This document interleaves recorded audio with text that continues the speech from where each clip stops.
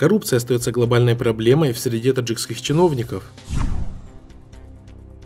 В Таджикистане растет число безработных.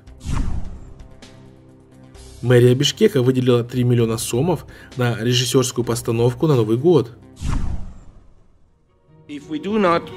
Организация экономического сотрудничества и развития OECD опубликовала отчет о коррумпированности таджикских властей.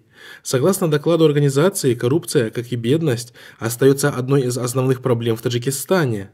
Отчет «Антикоррупционные реформы в Таджикистане» был презентован в конце уходящей недели в ходе визита экспертов OECD в Душанбе. При этом директор агентства по госфинконтролю и борьбе с коррупцией Сулаймон Султонзода 9 декабря не прокомментировал отчет международных экспертов.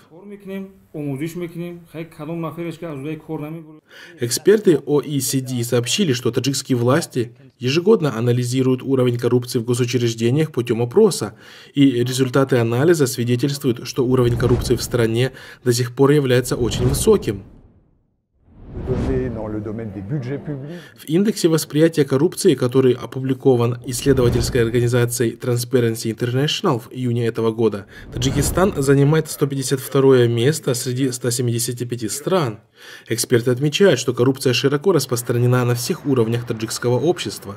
Напомним, что согласно данным независимых экспертов, каждый второй гражданин Таджикистана как минимум один раз в жизни давал взятку государственным служащим для решения своих проблем знакомства, родственников.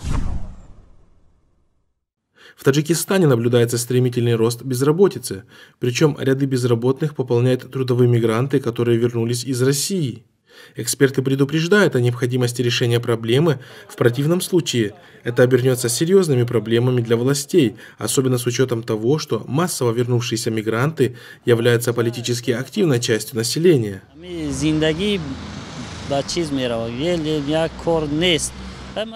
Согласно докладу Всемирного банка, диагностика создания рабочих мест в Таджикистане, стратегические направления по созданию рабочих мест, доля потенциальных предпринимателей, пытающихся начать свой бизнес, является очень низкой, всего 11,8%, что свидетельствует о значительных барьерах на пути предпринимательства, в первую очередь налоговых.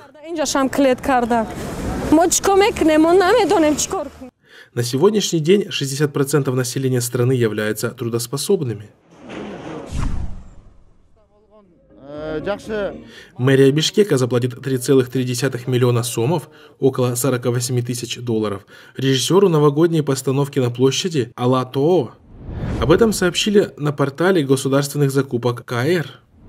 Управление культуры мэрии Бишкека объявило тендер на приобретение услуг режиссера-постановщика для подготовки и организации трех новогодних мероприятий «Зажжение елки» 15 декабря и утренние и вечерние блоки 31 декабря.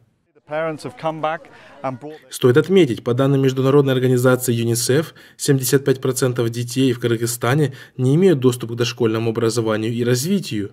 13% детей страдают от хронического недоедания, что является прямым признаком бедности.